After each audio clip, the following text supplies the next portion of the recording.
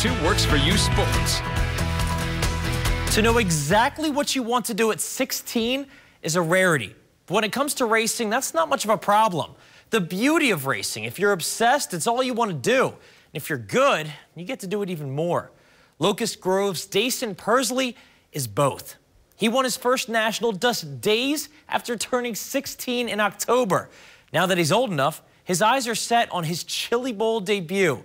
Meet the newest driver in the Chili Bowl and one whose name you might want to remember. Pursley back to the inside down in turn one, feeds him a little bit of a right rear.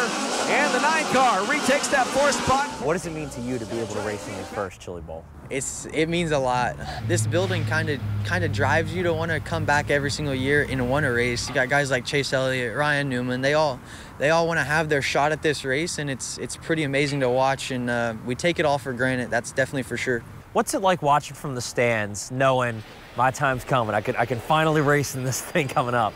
I don't know. It, it's sometimes a, a, blessing, I guess you could say, to set out a couple times so you know on your rookie season you can make a good run, good run at the uh, at the win. So tell me how you got started in racing. Uh, so I I wanted to race, or I thought I did when I was about six years old. I don't want to take these off. I don't want to take them off. You just want to. Man, you done good, bud. We didn't and then we, we, bought my first car, and uh, I got upside down in practice. Look out, big trouble, big flip! What brought you back? What what made you want to race, and what keeps you racing today? I just have a love for it. I mean, um, every single weekend I want to go do it, and, and I don't have any stress or anything going forward, and it's just just all about having fun out here. Well-spoken young man. You almost forget he's hardly 16.